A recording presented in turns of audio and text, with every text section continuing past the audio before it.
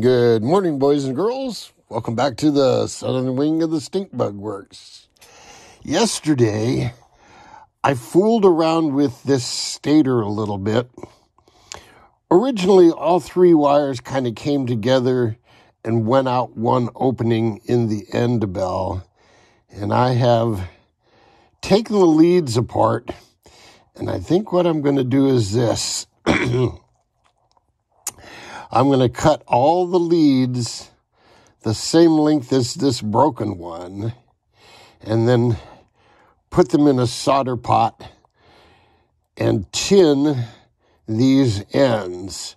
Then I'll put new shrink tube on them, shrink the shrink tube, and the old end bell, all three went out one opening.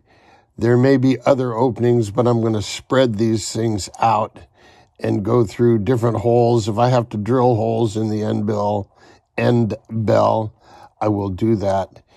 And uh, this motor will just have really short leads, and we'll have to go to a particular application. But there's really nothing wrong with the stator or the windings. It was just that this one wire broke off so darn short. So I think I can salvage it it'll go aside. The saltwater boat is, well, I need some more saltwater equipment in my toolbox.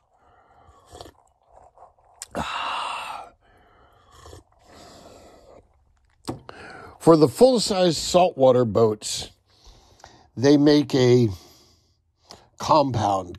Think of it as like dish soap that eliminates salt. So part of my uh, toolbox is going to include spray bottles of water and spray bottles of this stuff that gets rid of salt. And one of the other things is I'm going to have uh, extra cooling hose that I can flush out the cooling systems because salt water is really nasty, corrosive stuff.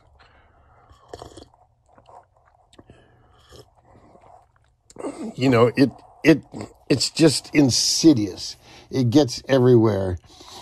In fact, I was looking at Big B's video this morning and he had the prop off of what was it? That's his big 34 inch boat. And the thing is brand new. And I'm looking at the prop shaft right where the threads begin at the prop nut. And sure enough, there's a tiny bit of rust there. And that thing is brand new, and you just blink, and rust will start to form. So you. You got to be all over it. You know, he runs that in brackish water, which is almost, not quite, almost as bad as the salt water where I'm going to run. But God, you got to stay on top of that. And you, quite frankly, you got to darn near tear the thing down every time you run it. So I am going to do a saltwater boat as an experiment to see if it's worth the trouble. So I will have a dedicated saltwater boat.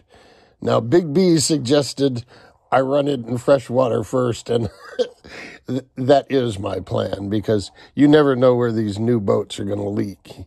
You know, you just never know because Hop Sing and Wing Lee, when they were putting them together, may not have uh, been exactly right. So I got to thinking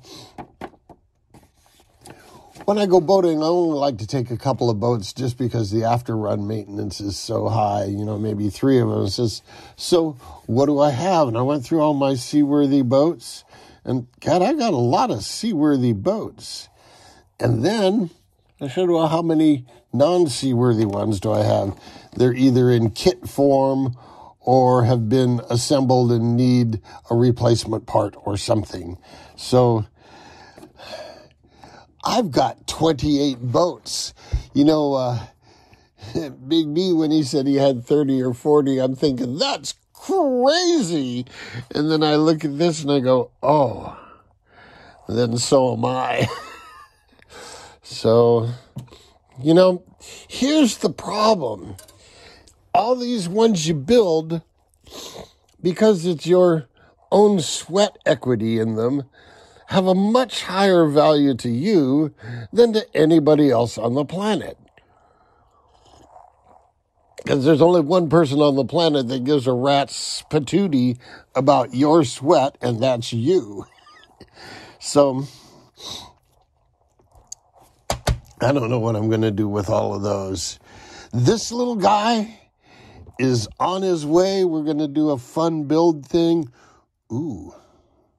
Ooh, you know. hmm. Hmm. Just thinking out loud, folks. Just thinking out loud. Hmm. No, no, no, no. I, I want to go with this just to keep it simple and to see what it does. So, anyway, the saltwater boat, I'm still waiting for stuff.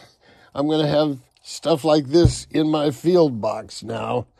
So, um, until next time, boys and girls, jet out.